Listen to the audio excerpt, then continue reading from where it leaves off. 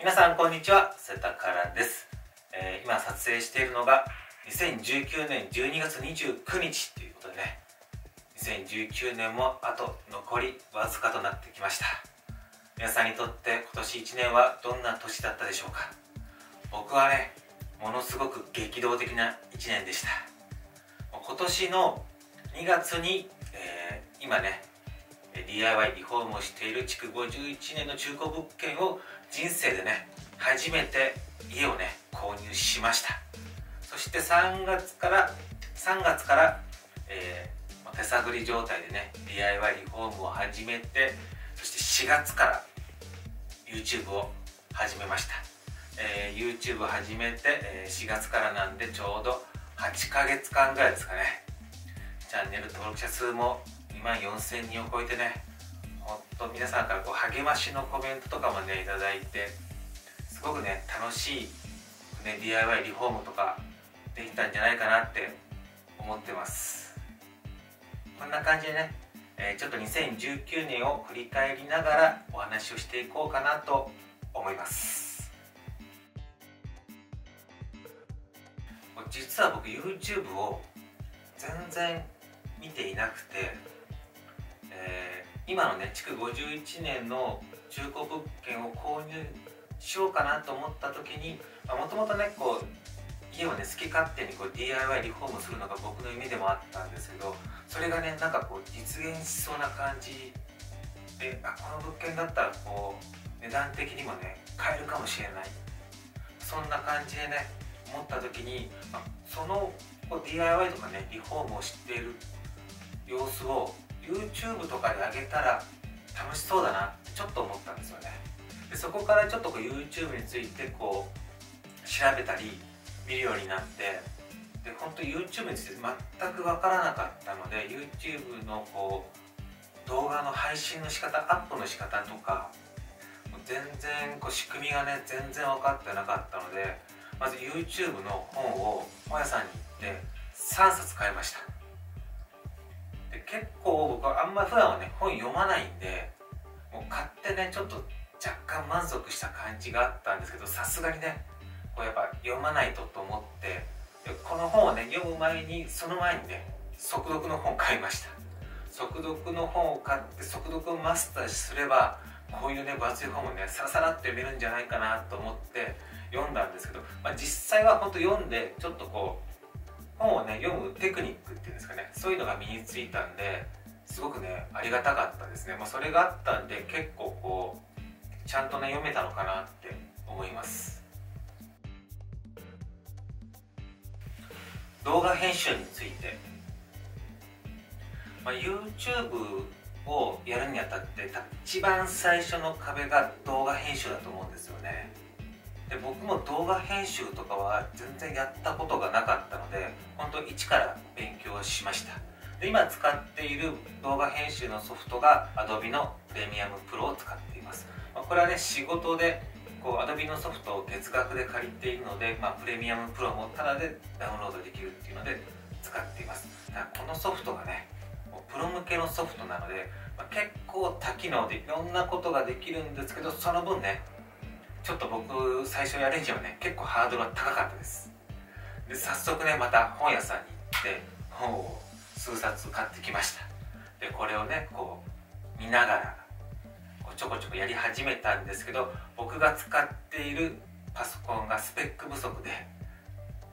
動画編集ができなかったんですよ。なので動画編集用のパソコンを買いました。そんなねお金もなかったので、えー、もうほんとギリギリのね先行投資という形でもうマウスコンピューターのゲーミングノートパソコンを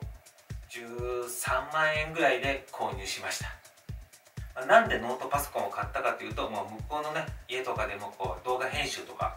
するかなと思ってノートパソコンにしたんですけど実際は向こうでもやらないですね。あとあとあれですよ。もう動画撮るのに必要なカメラ。もうカメラもなかったのでカメラもね GoPro Hero 7を買いました。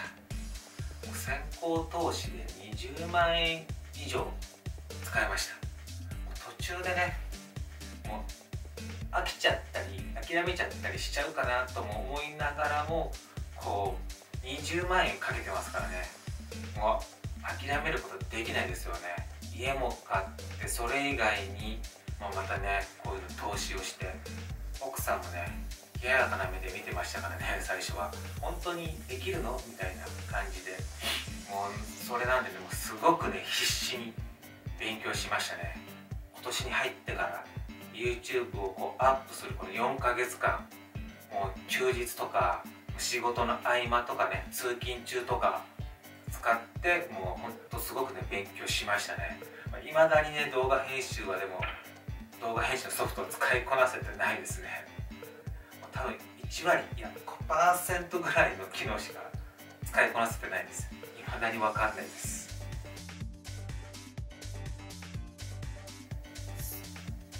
YouTube をやってよかったことはそうですね。自分でも気づかなかったんですけどあの動画編集結構好きだなと思って自分がこう作業するのが。もともと映画とかが大好きで月に45本ぐらいは映画を見ていたんですけど、まあ、それもあってこう映像とかにもねこうちょっとこう興味もあってで今ねこう休日とか使って動画編集してるんですけど大体動画編集もねその1日10時間とか12時間ぐらいとかねパソコンの前に向かってずっとこうやってますからね。もうこれ好きじゃなかったらなかなかできないと思うんですよね。やっててすごく楽しいですね動画編集は、まあ、あとこう YouTube を通してこう自分がね作ったこう作品を YouTube を通してあげてそれをねたくさんの方に見ていただいていろんな評価ももらってね。ですごくねこう面白いとかっていうコメントをねいただくと僕も単純なんですごく嬉しくなっちゃってまた次もなんか頑張ろうみたいな気になって。いやすごくね楽しいですよ。であと YouTube をやってよかったのが、まあ、結構今家のね DIY リフォームしてるんですけどまああのー、結構大変なんですよね。結構大変なんですけど皆さんからの本当コメント欄とかの応援とかね励ましのメッセージが本当こうやる気というか力になってで、まあ、そういうのね見るのも今となってはねこう夫婦2人のね楽しみ楽しみにもなっているのでこれはねすごくやってよかったなって思います。すごくね楽しいですよ YouTube YouTube やって大変だった。こと大変だったこと。大変だったことは実は結構あります。結構ありますね。一番なんだろうな大変なのはやっぱ時間ですかね、まあ、僕も週5日、まあ、忙しい時週6日ぐらい普通にね仕事をしているので、まあ、その合間で DIY リフォームをしてで動画編集もしてっていう感じになるので、まあ、結構時間的に余裕がないですよね。DIY リフォームするのに必要な材料とかもね事前に調べて発注したりとかあとこうやったことない作業もこう事前にねいろいろとこう調べたりとかそういった準備もあるので結構時間的にカツカツで仕事以外の時間は全部こう YouTube に当ててきたので結構ねこう余裕がなくて体力的にも結構きつかったですね。あともう一つこう僕のね趣味でキックボクシングを10年以上ずっとやっているので、まあ、週にね12回ぐらいこうジムにも通っている仕事終わりにジムに通ったりもするので本当目いっぱいでしたね。もう少しね時間がうまく作れたらねいいんでしょうけど。あと動画編集の勉動画編集の勉強もねもうちょっとしたいんですよね。今ちょっとスキル不足で多分それもあって時間も動画編集にかかっているところもあるのでもうちょっとこう勉強してもうスキルも上げて、まあ、動画編集もねより効率的にねこう編集できたらいいなって思ってますね。来年の目標来年の目標来年の目標はもうあれですよね仕事と YouTube のバランスですよね。これがもうちょっとこううまくね時間の取り方とかそういうのがうまくいけたらいいなって思ってます。あとあれですよね。もう築51年の家を DIY リフォームしていますけどあの家を早く完成させたい。完成させたいですよね本当に。